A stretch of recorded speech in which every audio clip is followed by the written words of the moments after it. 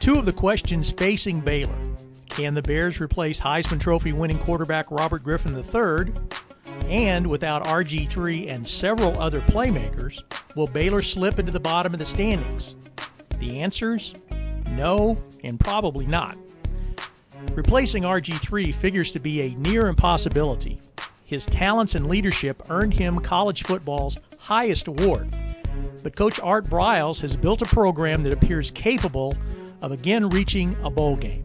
You know, I, I think we've done a, a, a really good job of recruiting, you know, high quality athletes, student athletes over the last, you know, four or five years. And so we got good people in place that uh, certainly have learned how to win. So I think we're certainly going in the right direction.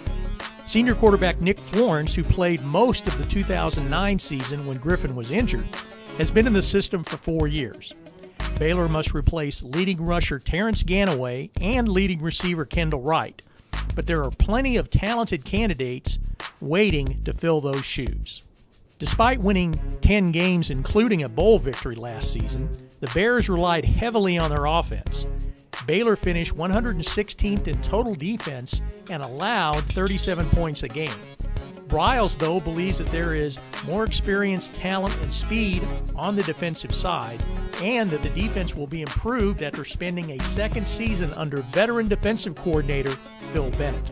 Baylor's season opener will be against SMU on September 2nd in Waco. The Bears start Big 12 play September 29th in Morgantown against Big 12 newcomer West Virginia. For the Big 12 Digital Network, I'm Wendell Barnhouse.